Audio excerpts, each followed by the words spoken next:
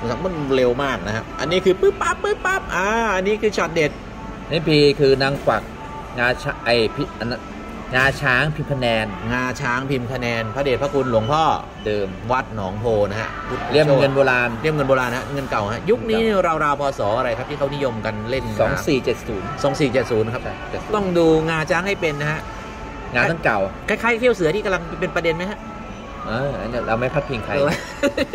เออนะฮะอันนี้ก็คืองาช้างนะอาจจะไม่ชัดนะท่านทั้งหลายนะอาจจะไม่ชัดอะเดี๋ยวผมเพราะถ้าเล็กๆไงมันเล็กคือมันจะไม่อ่าใหญ่เนี่ยก็จะมีลายเส้นลายเสี้ยนนะ ให้ดูนะนี่งานะครับแท้งาแท้ร้อยเปอร์เซ็นต์งาแท้นะครับนี่ก็คือมามาแต่คนแกะฝีมือมากเลยแกะมาแกะเล็กๆมาก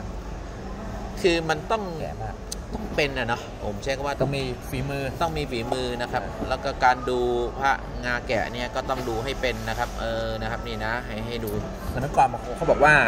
อันเล็กอย่างคือให้หวิงให้หวิงกับเด็กห้อยอ๋อสมัยเล็กก็ให้ผู้หแต่ญิงสมัยนี้ห้อยไม่เกี่ยวกันแล้ว ขอให้ทันแท่งเพื่อนเดียวหลวงพ่อเดิมนะขอบารมีหลวงพ่อเดิมพระโพธิสัตว์นะ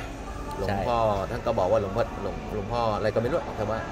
เขาบอกว่าหลวงพ่อเดิมเป็นพระโพธิสัตว์นะครับ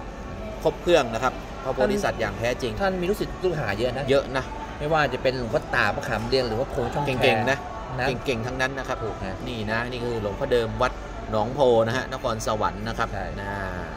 งาช้างนะครับพิมพ์คะแนนนะจิ๋วๆเลย